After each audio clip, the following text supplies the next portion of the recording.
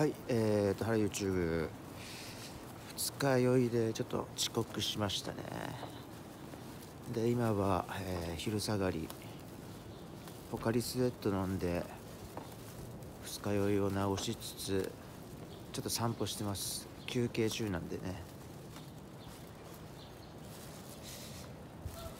こうパッと行ったことないなんつうんですかね。こう抜け道っていうかまああのその普段行かない道っていうんかな。行くとなんか面白いですね。いろんな発見があるっていう。やっぱりこの世界とか人生こう人生ゲーム地球ゲームオープンワールドのゲームしてるような感じなんだろうなっていうふうに思いますね。うん、だからやっぱりこう死ぬまでにいろんなこう探求心求めていろんないろんなところ探ってみる。それはまあ子供の時にそうやっていったように。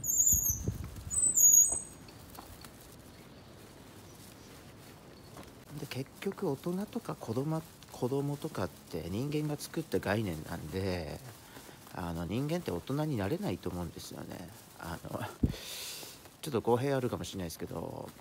まあバカっていうかあのおっちょこちょいだと思うんで人人間自体がね。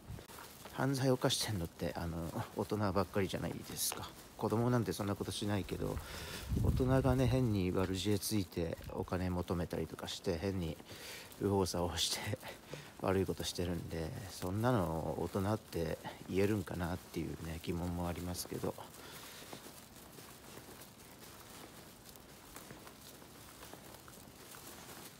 まあこういうふうにね、えー僕が今これ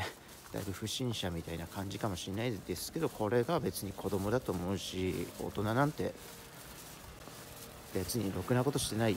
のかなっていうふに思ったりはします。まあ子供をね育てるとかそういうね最低限のことはしてますけど。